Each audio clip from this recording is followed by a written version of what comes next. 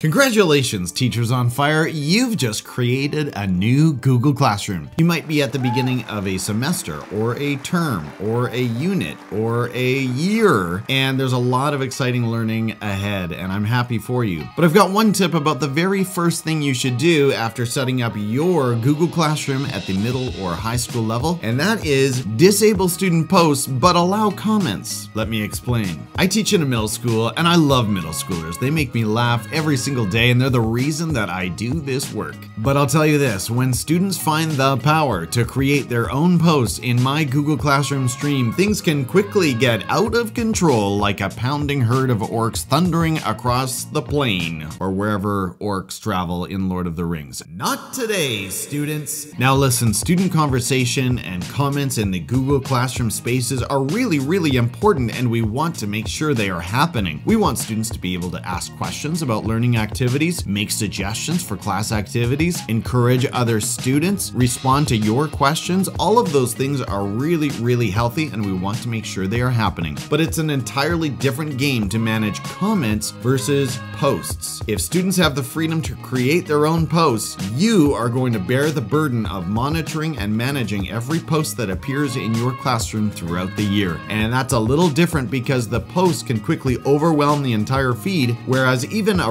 runaway freight train of spamming comments will not take over your feed. They will be nested within one post, and that's a lot different for you. That's a different result and a different visual for any student who visits your Google Classroom.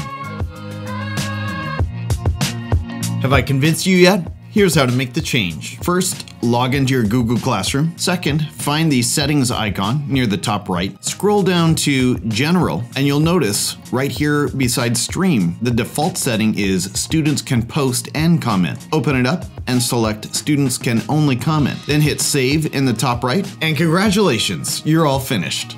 You've just taken an important first step to optimize your practice, preserve your sanity, and support your learners. Thanks for watching this video. Stay tuned for another important move you can make in Google Classroom. And until then, keep that fire for learning burning bright, teachers on fire, and I'll see you in the next video. Take care.